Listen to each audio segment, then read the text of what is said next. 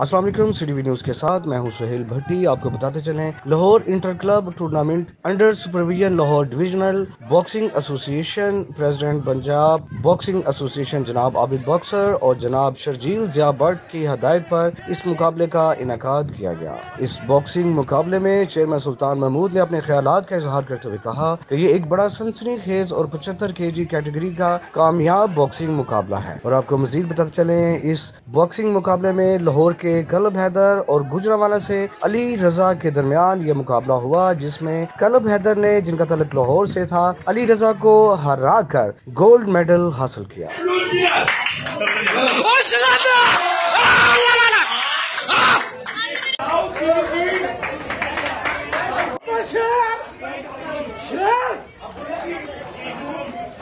CTV news के नमाजे से बातचीत करते हुए जीतने वाले कलब हैदर, जिनका तलब लाहौर से था, अपने ख्याल का इजहार करते हुए उन्होंने कहा कि मैं बॉक्सिंग के मैदान में कामयाबी हासिल करके अपने प्यारे वतन पाकिस्तान, वालदेन, उस्ताद और दोस्तों का सर फख्र से बुलंद करना चाहता हूँ। Subscribe to our channel clicking subscribe button and bell icon